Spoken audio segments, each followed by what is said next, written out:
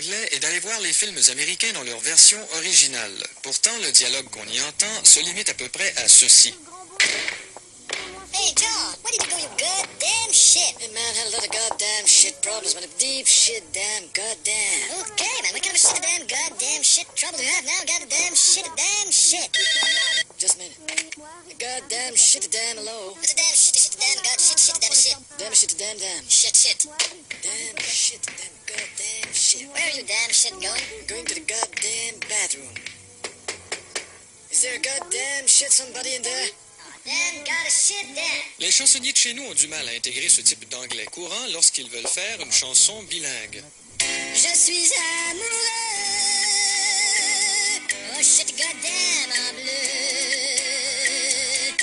Et ça cause évidemment des problèmes à tous ceux qui ont bel et bien appris la langue anglaise à l'école, mais qui décident d'aller la pratiquer à New York. T'es sûr c'est par là à 42e? Ben, il me semble que oui. Moi, je demanderais à quelqu'un, mais ça. Ben, attends un peu. Je vais demander à lui, ok? Ça va me pratiquer mon anglais. Ouais, donc. Sir? Sir? Hey, sir? Yo. Hey, sir? Sir, um, Hi. how are you doing? Oh, fine, and you? Oh, fine, fine. Yeah? Okay.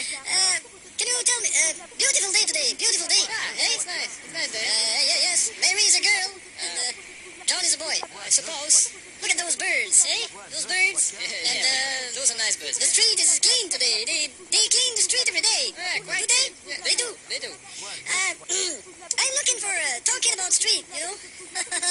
I'm looking for the, the 42nd Street. Do you, do you think, in the, do you think it is, uh, do you still, Hey, man, pretty too far away. You have to go back and turn left because we're 53rd here.